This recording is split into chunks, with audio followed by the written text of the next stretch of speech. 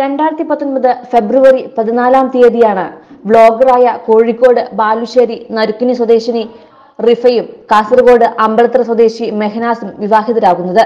രണ്ടു വർഷത്തെ പ്രണയത്തിനൊടുവിലാണ് പ്രണയദിനത്തിൽ ഇവർ ഒരുമിക്കുവാൻ തീരുമാനിച്ചത്.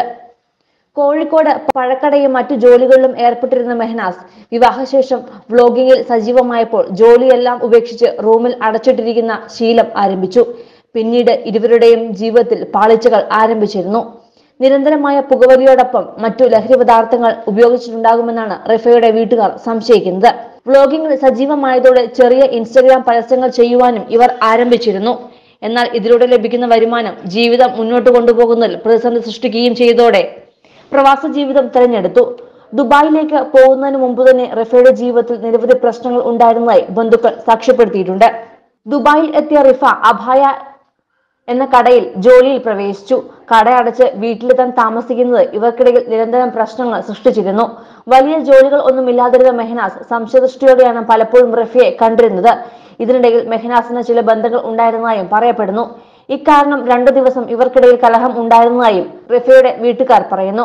അതേസമയം തന്നെ ഇവരുടെ ബ്ലോഗിനു ക്യാമറ ചലിപ്പിച്ചിരുന്ന മെഹനാസിന്റെ കൂട്ടുകാരന്റെ കണ്ണുകളും റഫിയുടെ ശരീരത്തിൽ പതിഞ്ഞതും അവരുടെ തന്നെ ശബ്ദ സന്ദേശത്തിലൂടെ പുറത്തു വന്നതാണ്. എന്നാൽ ഇതുവരെ പുറത്തറിയാത്ത ചില ക്രിമിനൽ ആക്ടിവിറ്റി നടന്നിട്ടുണ്ടോ എന്ന സംശയമാണ് ചില സുഹൃത്തുക്കൾ പങ്കുവെക്കുന്നത്. റിഫയെ ഹണി ട്രാപ്പിന്റെ എന്ന് ഞെട്ടിപ്പിക്കുന്ന വിവരമാണ് ചില സുഹൃത്തുക്കൾ പങ്കുവെക്കുന്നത്. ഇതിന് പിന്നിൽ മെഹനാസിനോടൊപ്പം തന്നെ ഒരു കണ്ണൂർ സ്വദേശിയും ഗായകനായ ഒരു യൂട്യൂബറും ഉള്ളതായി പറയപ്പെടുന്നു. എന്നാൽ സംഭവം നടന്ന വിദേശത്തായതുകൊണ്ട് കേരള പോലീസിന് അന്വേഷണത്തിന് പരിമിതികളുണ്ട്. റിഫയുടെ ഫോൺ ഉപയോഗിച്ച് റിഫ അറിഞ്ഞും അറിയാതെയും ചിലരെ ഹണി ട്രാപ്പിൽ കൊടുക്കുവാൻ ശ്രമിച്ചതായി സൂചനയുണ്ട്. റിഫയുടെ ഫോൺ ശാസ്ത്രീയ പരിശോധന നടത്തിയാൽ എല്ലാം പുറത്തു വരുമായിരുന്നു. എന്നാൽ റിഫ ഉപയോഗിച്ച ഫോൺ വിദഗ്ധ പരിശോധന നടന്നിരുന്നില്ല എന്നാണ് പുറത്തു വരുന്ന വിവരം. മാത്രമല്ല പോസ്റ്റ്മോർട്ടം നടപടികളും ഉണ്ടായിട്ടില്ല. തൊട്ടടുത്ത ദിവസം സഹോദരന്റെ അരികിലേക്ക് പോകാനിരുന്ന റിഫ പെട്ടെന്ന് ആത്മഹത്യ ചെയ്യണമെങ്കിൽ അതിനെന്തോ കാരണം ഉണ്ടായേ മതിയാകൂ. റിഫയെ മരണത്തിലേക്ക് തള്ളിവിട്ടതിൽ അവൾ അറിയാതെ അവളുടെ ഫോണിൽ നടന്ന ഹണി ട്രാപ്പ് കാരണമായിട്ടുണ്ടോ എന്ന ചോദ്യമാണ് റിഫയുടെ ബന്ധുക്കൾ ഉന്നയിക്കുന്നത്. മെഹനാസിന് ഇക്കാര്യങ്ങൾ അറിയുമോ എന്ന ചോദ്യങ്ങൾക്കും ഉത്തരം കണ്ടെത്തേണ്ടതുണ്ട്.